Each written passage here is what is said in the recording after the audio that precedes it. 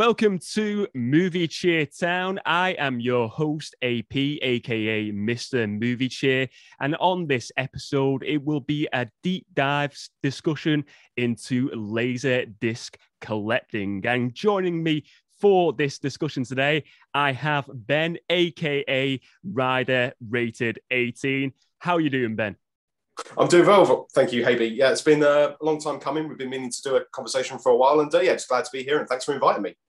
Well, thank you for coming on. I just got to say, Ben has been on the the Movie Cheer podcast uh, previously, but if you're not aware of Jen uh, of Ben's content, he's got an awesome Instagram page uh, discussing movies, doing live streams, talking about his collection. And more importantly, for today's topic of Laserdiscs, he has some awesome videos sharing his Laserdisc collection as well. So I just want to say, Ben, you have thumbs up to you, buddy. You've got an awesome Instagram page. It's, it's really cool, Thank mate. you. Thank you. Um, so we are going to be doing a, a, deep dive into to Laserdisc today. Um, for me, I'll be honest, you, it's a format I am not super aware of. It's something probably only like past couple of years, maybe I've heard of like Laserdisc. Never mm-hmm. collected it as a kid, and it was just like for me, it was like VHS, DVD, and um, it was like I said, like later maybe adulthood i've heard about laserdisc more so. So like for someone like myself who's maybe not super familiar with the format then and mm-hmm. maybe wants to get like find out a bit more about it how what's what's the format about? What is it like? What is laserdisc basically? Okay well here it is. This is what one looks like. Whoa. And uh you know it's very huge. It's very similar to a vinyl record double sided got some cool reflection there as you can see yeah. Um, it is an analog format. It's not digital. You know, people sometimes forget that they think it's digital, but it's not. Um, it originally started out in 1978, mm. and it was known as DiscoVision then, and then it sort of wow. became something else, and then it eventually became Laserdisc by the 90s. And it was always that thing of you would always hear about them, but you would never see them. Yeah. You know, I spent I spent years trying to see, you know, if I can actually find any or anyone who owned a player, but no one ever did. And then once DVD came in, you know, these sort of died off because they stopped making them around 2001. That's when the format stopped. And uh, yeah, so it's basically a double sided disc. Each one has about 60 minutes per side of right. the film. So you do have to flip the discs a few times when you watch the film. Some of them are like 30 minutes per side. Right. But the majority of them are 60 minutes per side. So if you've got a film that's over two hours, you're going to have at least uh, two discs to go through. Yeah. And as you can see, we've got a cool like reflection here. It's uh, yeah, it's something else. Yeah, it really is. It's a very weird oddity. They look not many not many people have probably seen one. You know, that's yeah. why I'm sure. So yeah. are they are they like? Would you say they are the same size of like a 12 inch like a record? Are they are they very much the same? Are they or? Yeah, I, I, would assume so. Maybe a, a, bit smaller by a few millimeters, and uh, yeah. uh, obviously the, the, sleeves they come in are identical to the uh, vinyl sleeves. But yeah, about the same. Yeah.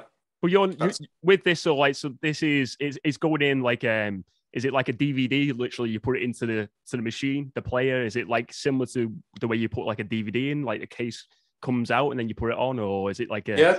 Is it just this like yeah, just this enormous tray. You just you know you open it up and then you you make sure it's uh the right side up, and then it will start spinning and it will read the first side. Yeah, right. And then when it, and then when it gets to the end, um, you then have to sort of flip the disc over. But luckily, the player I own can read both sides, so I don't have to flip it. You right. Know, okay. I only, I only have to change the disc once the disc is actually finished. So some players can do that, some not. Yeah.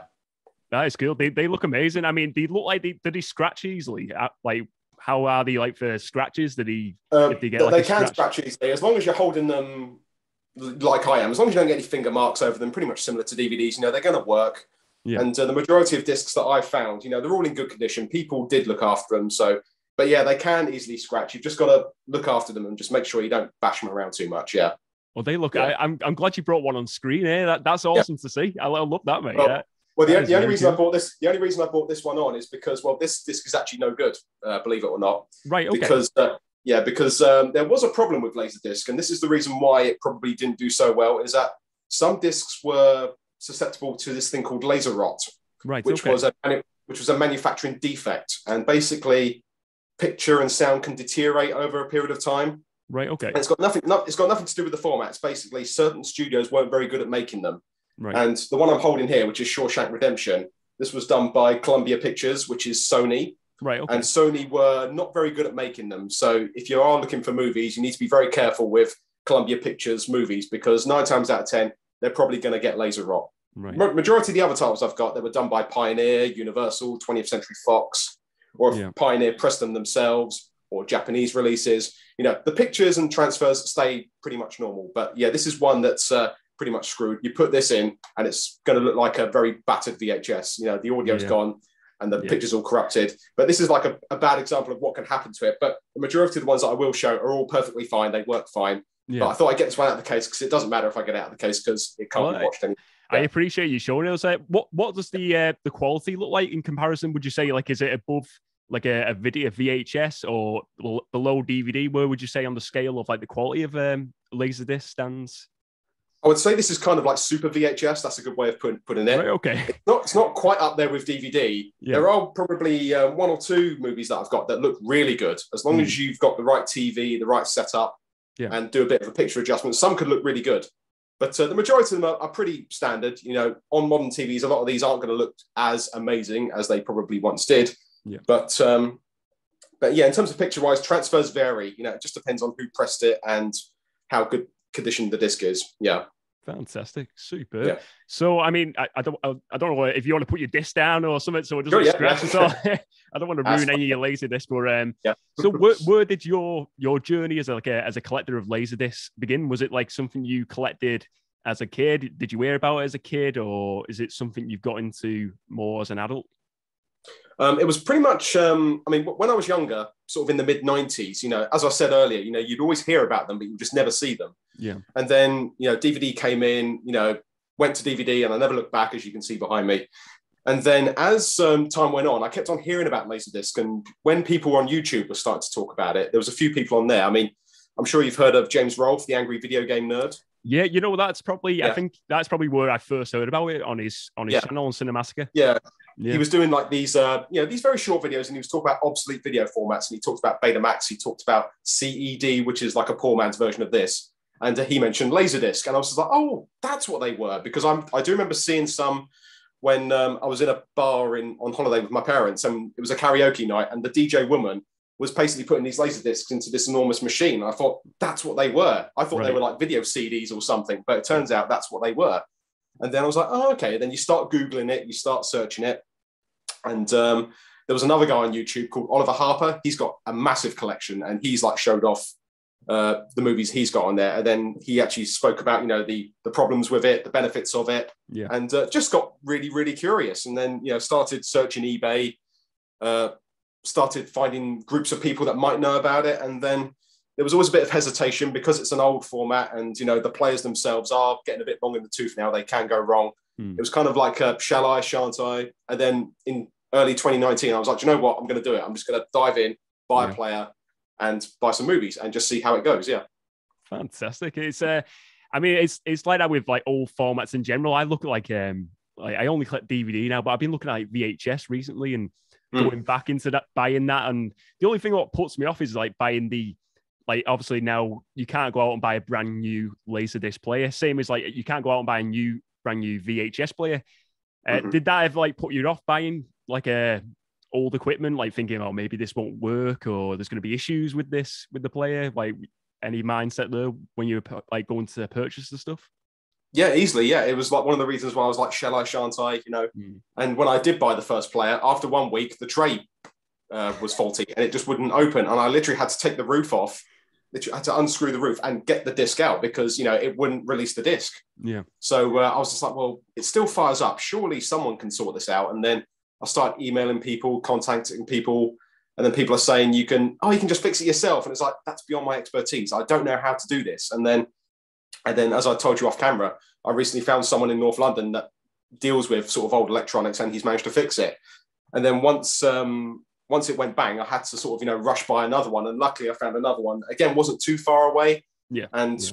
on those occasions, they had like a load of movies as well. And they said, well, if you give us some more money, you can take some movies with you. And I was like, yeah, sure. So the first two player buys were actually with a job lot of discs as well. So yeah. Fantastic. Yeah. Super. Mm. So um, let's get into, I mean, like I said, on your Instagram page, Ben, you've got some really yep. cool uh, videos showing your your hmm. case covers to your actual laser disc collection. Um, yep obviously I've asked you in, in advance to like pick out some of your favorite ones here. So, um, what are some of your favorites, and and it'd be great to see them on screen. Okay, well, we're going to start off with probably the best one I own, and that is Terminator 2 Judgment Day. Oh, great. Great. Now, you've got original artwork. You really have got to love that because when new Blu rays come out, they don't always go for the original artwork anymore. Yeah. You know, and I just, you got, I mean, that's quintessential Arnold right there. I mean, I even had this as a poster in my bedroom when I was a kid. Yeah.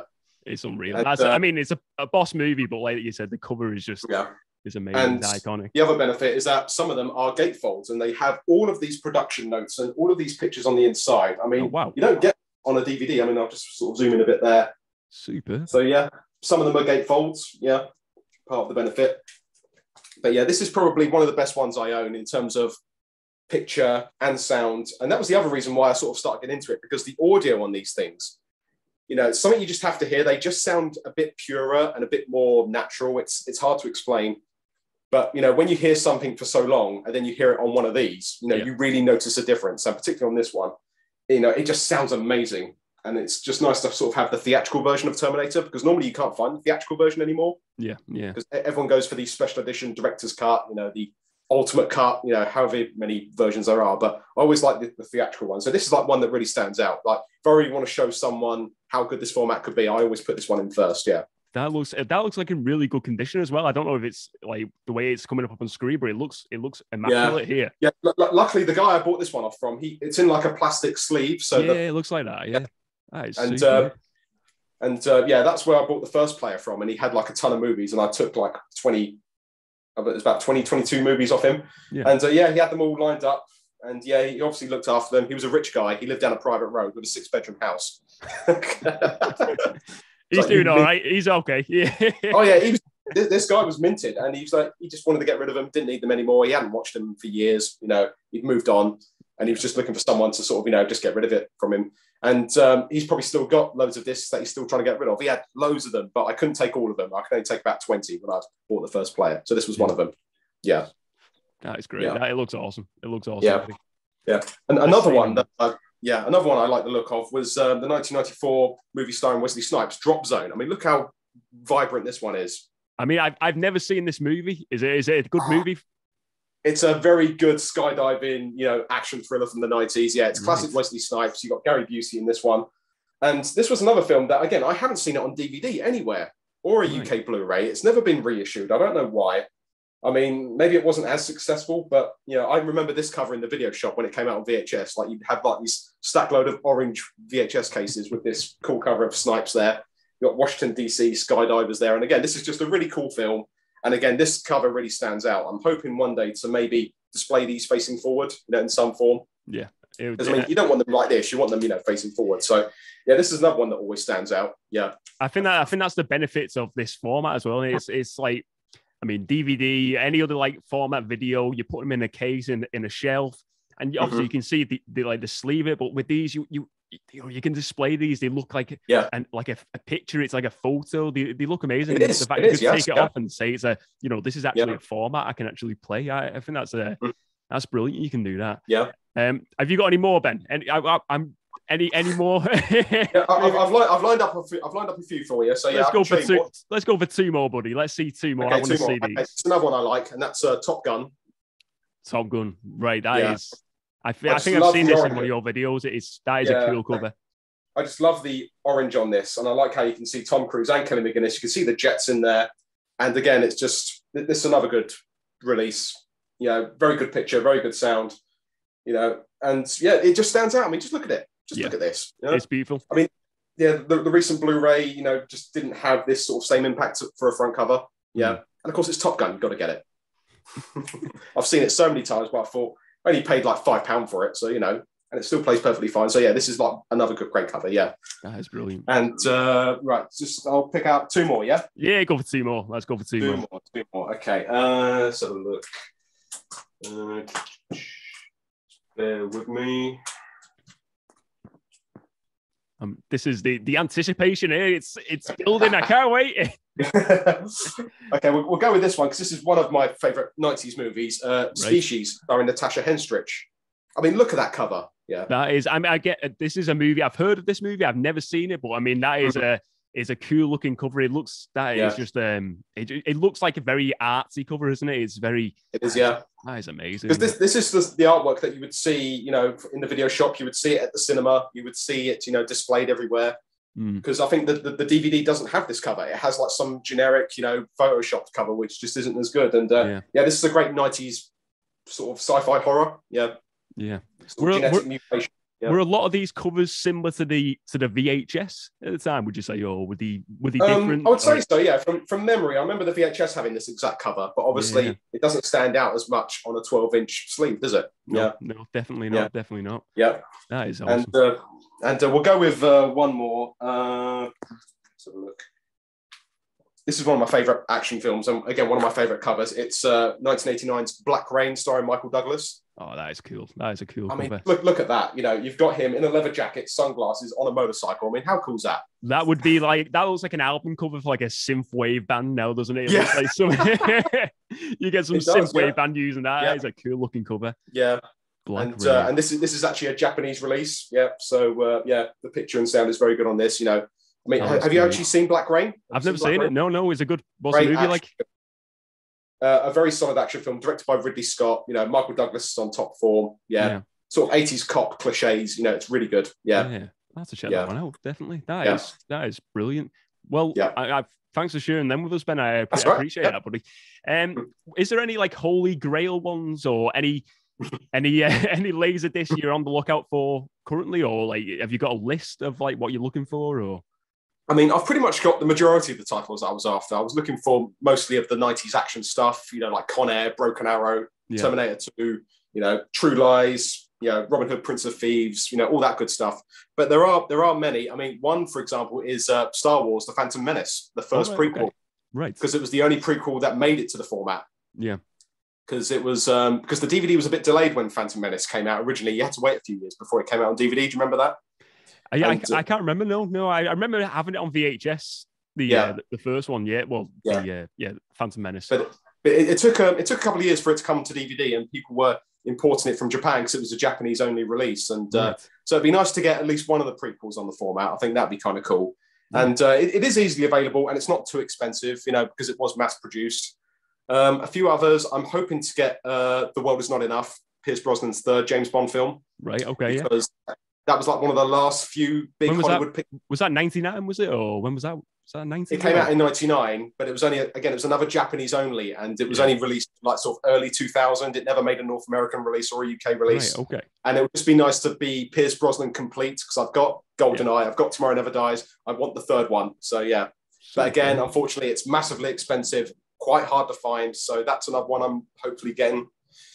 Fingers crossed. You know, you just yeah. got to keep searching and just keep seeing is, what we can get. Is there, is there a lot of like, I mean, I, I don't know if you noticed this on like eBay or wherever or out and about. Have you ever seen any, like, do you get bootleg versions of, of Laserdisc? Have you ever seen that or heard of like a, in, in the community, like a, like there being a Laserdisc like bootleg copy at all or? Not like really. That? No, not really. No, I haven't seen any. You know, I, I, suppose because it's like too complicated to try and replicate. I mean, with DVDs, yeah. it's easy done, isn't it? Yeah, but that's it. Yeah, yeah. Because they were so sort of unusual, these discs, you know, I don't think you can just, you know, pop one of these in and just record on because you couldn't record on them because they were yeah. analog. Yeah.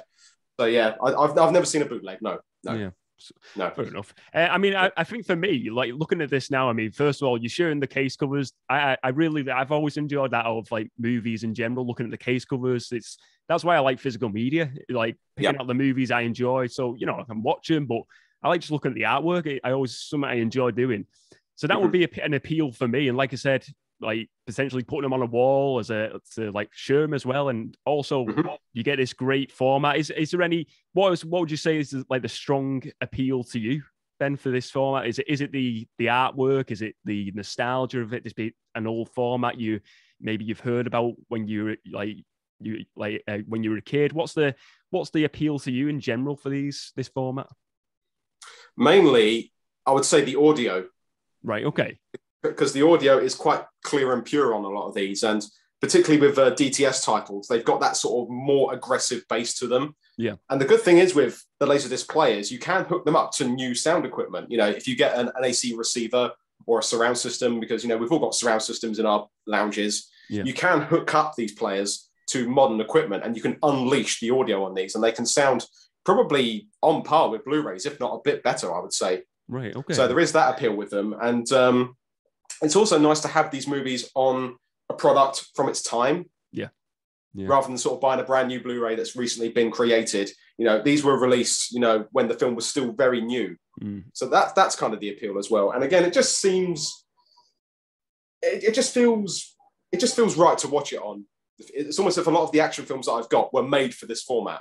Yeah, I understand. That makes sense. And also, there were a lot of directors that were very big fans of it. James Cameron was a huge fan of it. So was Quentin Tarantino. So was Robert Rodriguez. You know, they were they made sure that their movies got the best releases on the format. Like it's it's no um, secret that James Cameron did approve a lot of the Terminator 2 releases and probably the one I've shown. You know, yeah, yeah. Actually, oversaw the release to make sure it was in the correct aspect ratio, the audio was correct, and the same with Tarantino. He was like, you know, saying, I want this to be the best release possible on this format. So they yeah. were fans. So people within the movie the movie community, they loved it as well. Yeah. Super, yeah. super. Yeah. So I mean, we're in 2022 now. Is mm-hmm. 2022 a good year to start collecting Laserdisc?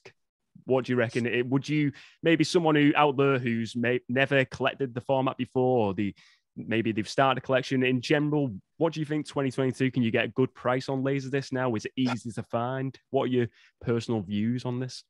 Yeah, I would say yes and no. It's it's very tricky because um, you will have to do some research. Right. You know, you, you need to find out what the best players are. You need to check out which films will probably have laser rot and which ones won't. Yeah. You can go onto a website called LDDB, which is the Laserdisc database. Right. Okay. It's very similar it's very similar to IMDb, where every release is listed. It's independently run, Fantastic. and and the people within the community they sort of log in and they can like tell you which releases are the best ones, which ones to avoid. So, like I said, you need to be careful of that. And again, you know, with players, you know, they are going to go wrong. You know, mm. the most recent ones are now over 20 years old, so you are going to run into te- technical issues. And the other issue has recently been is that a lot of people are starting to overvalue them a bit. Right. Okay because they sort of see it as this sort of retro thing. Because it's a laser disc, they think it's rare. You know, yeah. it's not rare. You know, it was mass produced. It was easily available back in the day, and people try and you know charge a bit too much for them now. Do you think like the lockdown has potentially, you know, the lockdown over the past two years or so, has that like contributed to it? Maybe like uh, I, I see that in like the retro gaming space where Mm. A lot of mm. people were were thinking, let's get into retro gaming, and that's where the prices for a lot of these like 90s uh, consoles went up in price, the early 2000s stuff. And would you say, do you reckon that could have played in a part to why Laserdisc is, is maybe a bit more expensive, maybe? Quite possibly, because yeah, retro gaming has suffered massively with increased prices for all the wrong reasons. Yeah. And I do feel that Laserdisc is not too far behind by that. Mm. But if you search hard enough, you will find people that just want to get rid of it. You know, right. they're happy to have, you know, a couple of quid for this, or they're willing to just get rid of it because they don't want it anymore. Because the majority of the films that I do have, they're not worth much. They're only worth between five to ten pounds, realistically. And anything that's like um, a bit later on, like I was saying with James Bond or Phantom Menace, they might be worth a bit more because they were only released in Japan. And uh, it's the same with um, Mission Impossible 2. That's another film I want to get on the format because it was, again, one of the last few big Hollywood movies that came out on that. Yeah. And again, people do charge a bit too much for it, but you know, so yeah, I would say it kind of is, but isn't. And also, you need to be prepared for storage issues as well because you yeah, they're not small. they are quite large. this is what I was going to say. Like, where you like? Where do you store them? Is it like have you got like a like a certain area? Have you got like a, a cube, like a cube, like an ottoman to put them in? What, where do you store yours, Ben?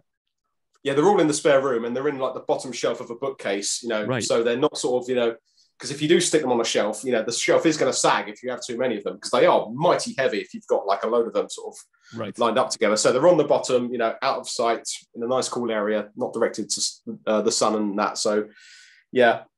Storage. And like I said, not everyone has the sto- not everyone has the storage space for them, so they are quite large. Mm. And yeah, as I said, some transfers are going to be good, others not so good. So people might be disappointed, thinking that you know it's going to look great, but it probably won't look great and also when it's on when these are played on new TVs, you know, some are going to look better than others. You know, so mm. it's a bit inconsistent. Right. You know, if you're if you're if you're prepared to sort of look past uh, the imperfections of it, you know, you'll probably have a good time. Yeah.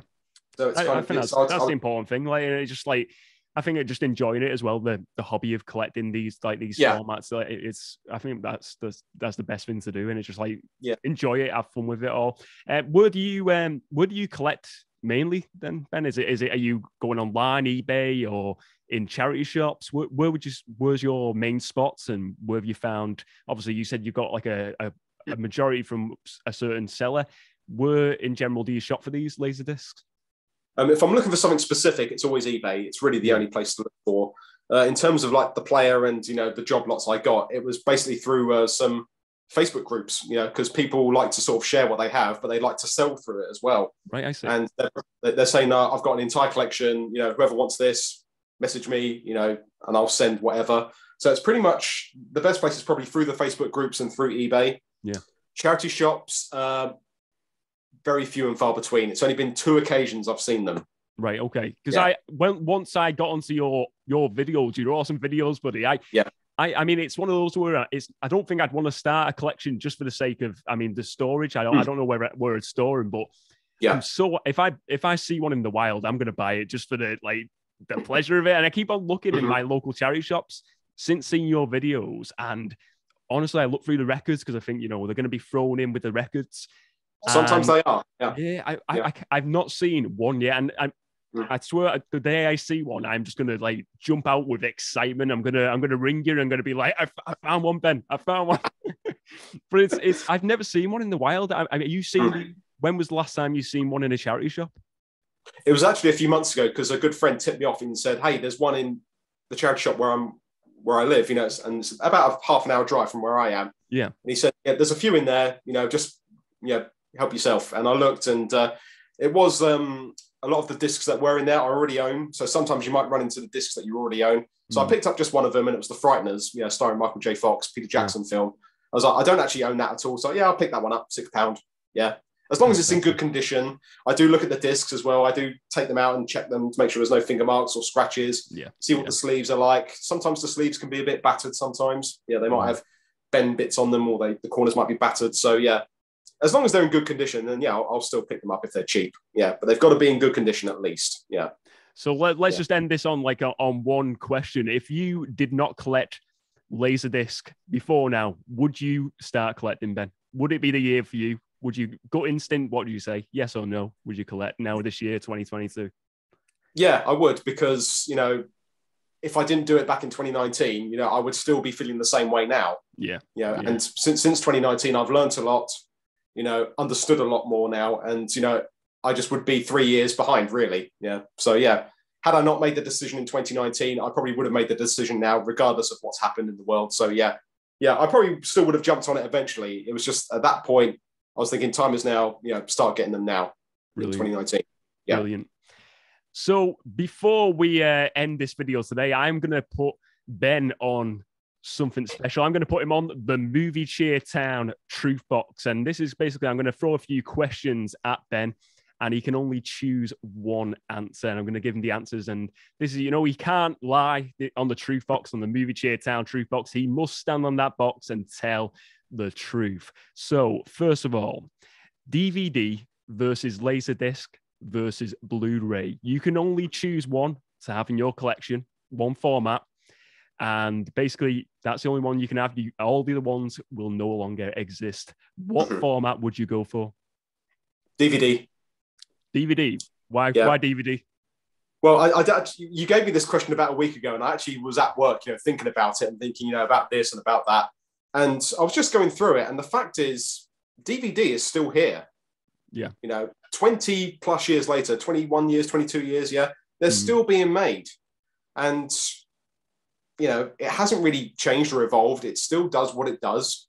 There's no issues with them. They're very affordable. You yeah. can easily store them.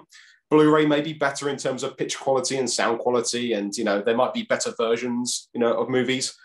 But you know, DVD is still kicking around, and the fact is, any film could be on DVD because there are plenty of films that don't really need a Blu-ray release or don't really need a 4K release. Yeah. I mean, I don't know if you saw yesterday. I was watching Death Race 2000 on. Uh, yes, I, I, see. Yeah. I see. I've, I've seen yeah. that movie years ago. I, yeah. I, can't really recall the movie. It looks like a live-action version of Wacky Races, basically. But, um, Pretty much, yeah.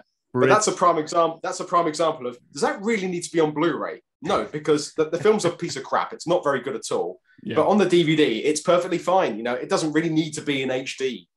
And a lot of other movies like um, any sort of character studies with a lot of acting with no visual effects. You know, do they really need to be on Blu-ray? Not really. A lot of old black and white films, do they really need to be on Blu-ray? Not really. Yeah. And also, you've got television shows look fine on DVD, stand-up comedy, documentaries, you know, sitcoms. You know, the run-of-the-mill stuff. You know, everything works on DVD. I think that's the and, thing. In a general, yeah. are just it's a, it's a solid format, isn't it? Like I said, it's yeah. not the super highest of quality, but it's still yeah. a, a solid format, isn't it? For it's proven and it's yeah, it's a solid format. And uh, and the other thing is is that I've noticed recently with a lot of uh, Blu-ray releases, particularly with some of the boutique labels. Hmm. There's been a lot of recalls recently with like, issues with the discs. Yeah, I've seen this recently. With Arrow video was it? There was one the other day. Um, the one it was a Michael Rooker movie. I can't yeah, remember. Henry, Portrait of a Serial Killer. Yeah, that was it. Yeah, yeah. yeah. yeah and they were saying we've, we've got to recall these discs because there's a problem with one of the chapters. It's not in full HD or the 4K wasn't, you know, rendered yeah. at that point of the film. And it's not just Arrow. Like there's been issues with Criterion. There's been issues with uh, 88 Films and Scream Factory in America mm. saying, "Oh, we got to recall this." I think the, the, biggest one was that Friday the 13th super box set that had all the movies in it. Oh yeah, yeah. And about three of the films had to be recalled because you know the aspect ratio wasn't correct, or there was like a little problem with one of the movies, and they had to send all the discs back, and then they had to send you more, and it's just like that never happened with DVD, and it never happened back in the day. Yeah, yeah. I can remember because I can remember when DVD came in, and I don't remember any issues with any releases.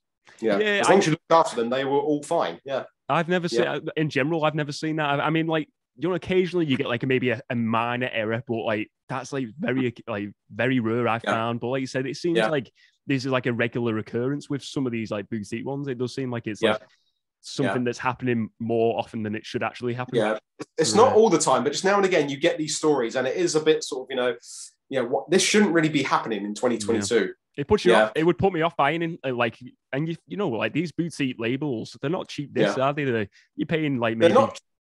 Yeah, they're not cheap, but I mean, you do get your money's worth, and they are probably the best releases at the moment. And that's probably mm. the only reason I buy them is because they do offer more. There is more bonus features. They yeah. might have different versions of the film, different cuts of the film, which yeah. isn't available on Blu-ray. And that's pretty much the only reason why I buy the Blu-rays because you know this version is not on DVD. I'll buy the Blu-ray because that's the only way to get the film on this format. So yeah, but as I said, yeah, if I had to just pick one, it would be DVD because it's the one that got me into collecting in the first place. Yeah. It felt like this was a good time to start collecting movies anyway, back in 2001.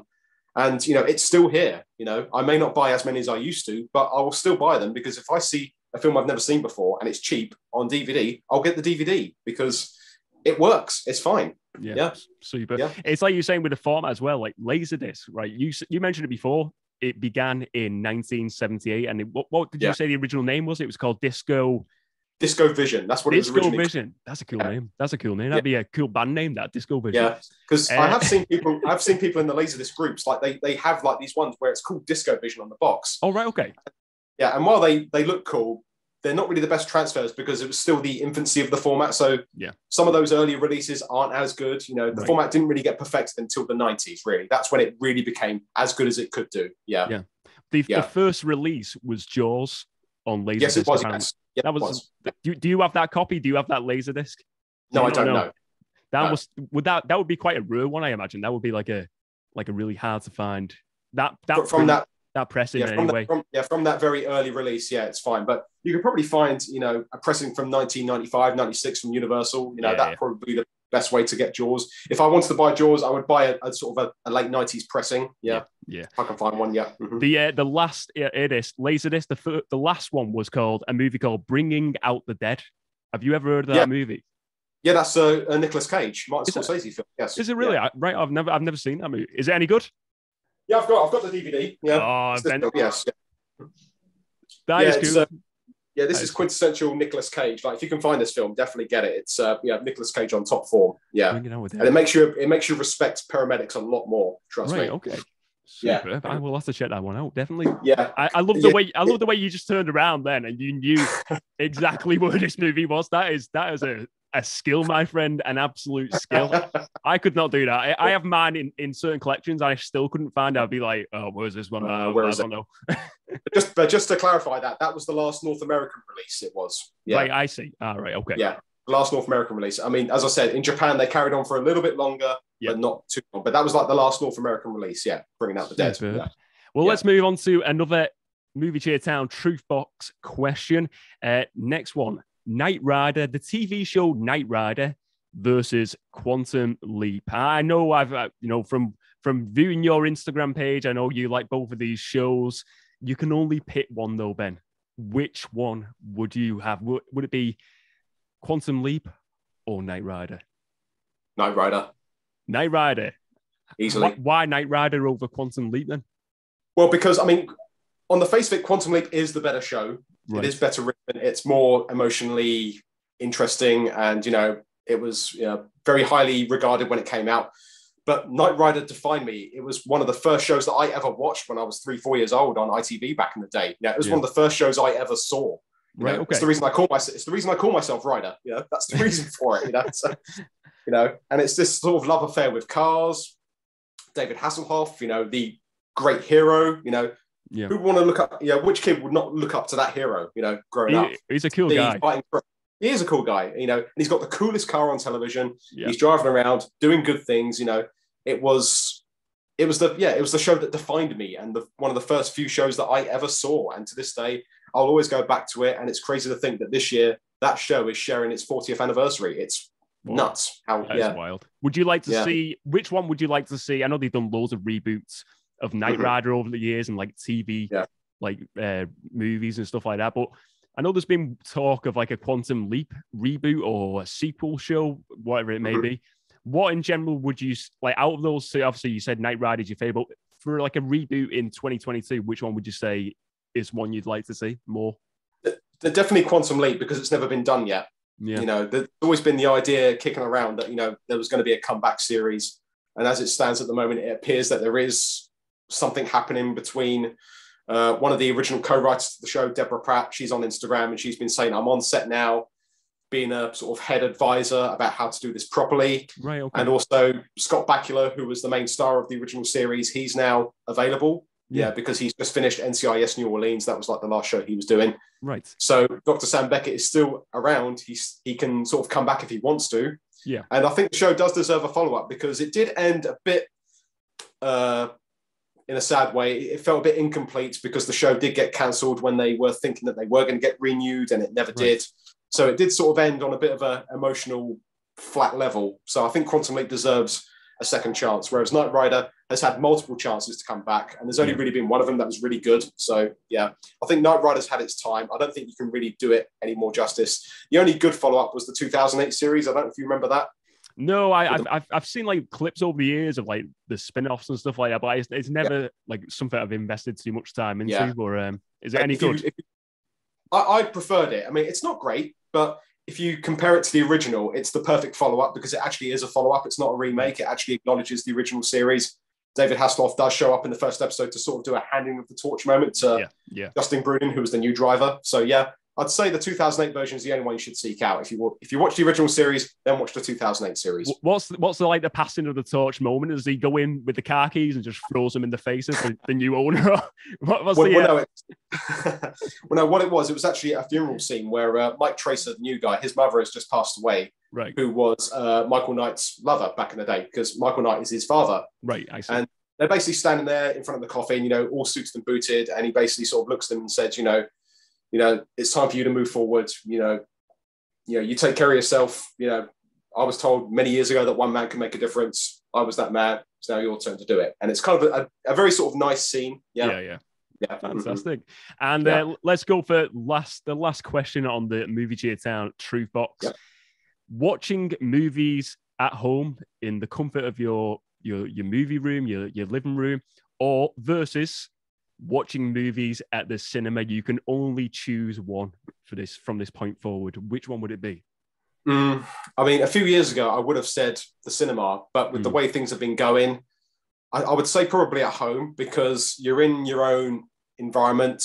Yeah. We, we can all get the best technology for films now. We can get the best TVs with the best surround sound, the best players, yeah, the best comforts, and you know you haven't got people around you because I've noticed recently in cinemas, like while it's still great, it's amazing to watch a film in the cinema, but yeah. you are going to get the odd group of people that are going to be a bunch of idiots. You know, they're going to be talking, they're going to be munching, they're going to be reacting to stuff that doesn't need reacting to. Yeah. And yeah, I mean, it is good, but you can't beat films at home. Yeah, I I, I agree. I, am with you. I, I, mean, I still enjoy the cinema experience, but like, yeah. like you said, for me, it's just like just chilling out at home, and like you said, no one, yeah. no one on the phone. Like it, that really bugs me. Is just like you you're watching a film, then you can just see a light in the corner of your eye, and yeah. it's someone just on the phone, or like like I said, if you get someone like chatting and stuff, and you're like, I just want to watch the movie in peace and just enjoy it. I mean, in my area, it doesn't happen too much. You know, it's just now and again, but it's something that you probably it's something you could do without. Yeah. yeah. I think I, yeah. I could definitely go the same, buddy. Well, yeah. um, that brings to an end uh, the discussion, the, the video today. Um, if you enjoyed this video today, please do give it a like and uh, leave a, a comment on this topic of laser disc collecting. Are you collecting laser disc in 2022? Uh, do you collect laser disc in general? What are your thoughts on laser disc collecting? Uh, I just want to say as well, uh, let's just go for a final plug of Ben Rider Rated 18. Uh, ben, where can people find you online? Uh, only Instagram. That's really the uh, social that I'm massively active on. I'm always sharing movies that I'm watching. I'll sometimes share a bit of motorsport on there sometimes, and you yeah. know just general sort of you know life stuff, anything I like. But you know, in terms of this collection behind me, I'm always sharing what I'm watching.